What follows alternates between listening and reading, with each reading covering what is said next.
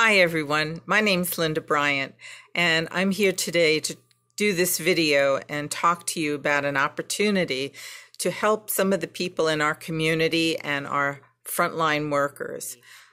Well, there's an organization in the county that I've been working with for many years. When I was uh, a nurse for 40 years with Hunterdon Medical Center, I uh, was on the committee with the United Way of Hunterdon County, and we did a lot of things for people in the community.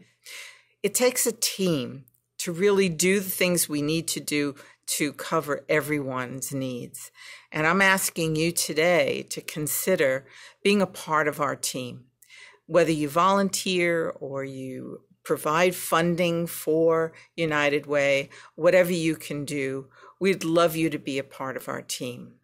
I want to say thank you to our nurses, our doctors, our respiratory therapists, the lab people, um, the nurses' aides, uh, the environmental workers, the maintenance departments, nutrition. There's so many people as a team at a hospital and a nursing home. And we need to be supportive of them. They're putting their lives on the line every day. Can we step up just to contribute to keep them safe. Please join me and Hunterdon United Way. Thank you so much, and please stay safe.